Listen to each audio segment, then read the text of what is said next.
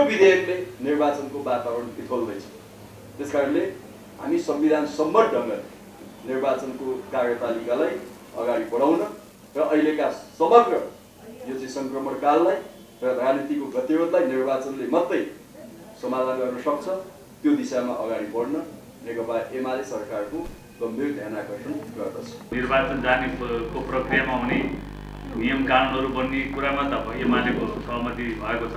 यो यसको एउटा समन्वय गर्ने कुनै कुनै बाटो खोज्दै हामी अगाडि बढ्नुपर्छ र मिलेर जानु कुनै विकल्प आज द्वन्द्व बढाउने होइन। द्वन्द्वलाई मिनिमाइज गर्ने बाटोतर्फ जानुपर्छ। र अहिलेको अवस्था नेपालको लागि अत्यन्त क्रुसियल पिरियड हो। यदि हामी द्वन्द्व बढायौँ भने हुनसक्छ फ्युचरमा केही हातमा नरहला। परिस्थिति अर्कातर्फ पनि जान सक्ला। कता जाला त्यो निश्चित छैन। तर पनि जता जान्छ द्वन्द्वमा राम्रो तपाईँ